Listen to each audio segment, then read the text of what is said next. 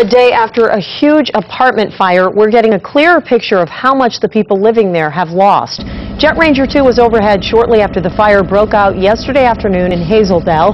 No one was killed or injured, but dozens of families are now struggling in the aftermath. K2's Margie Lynch spent the day with many of those residents, and Margie, this must have been such a tough day for all of them. Really difficult, Angelica. It's scary and it's overwhelming. And not to mention, a lot of them, after this happened yesterday, didn't get any sleep last night because they couldn't sleep. So as they came back today and looked at what they have to take on, some feel like it's too much to take. It's been an exhausting day for Mildred. I can't even lay down. I'm tired. I'm tired. She can't because she lost everything in the fire.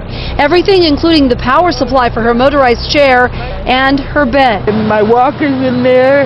I don't have nothing no more. I worked hard to get that stuff.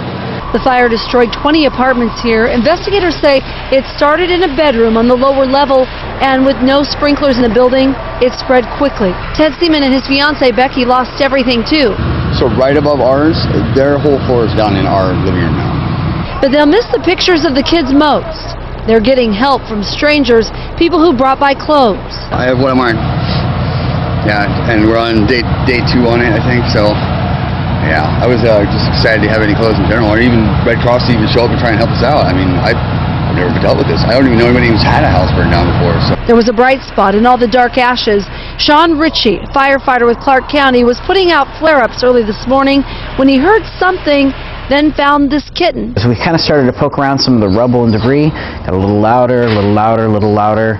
He pulled away some roofing that fell on a couch. As soon as we got that roofing out, you know, you could hear meow, meow, meow, louder and louder and louder. Then rescued the burned cat. So we gave it some medical grade oxygen on a pediatric mask, um, which fit the cat really well and uh, I, we didn't have a blanket available to us, so I took off my t-shirt and wrapped the cat in it. The kitten doing much better today, but firefighters still don't know who owns it.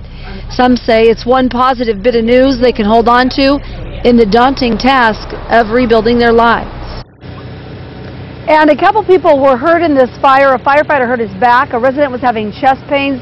Both of them appear to be okay now today. And we're getting some good news now tonight. People coming by telling us about benefits they're going to have just to help these guys out. One lounge is going to have a benefit on May 1st, and another business says all proceeds tomorrow will go to the victims of this fire. That business is called Movie Movers.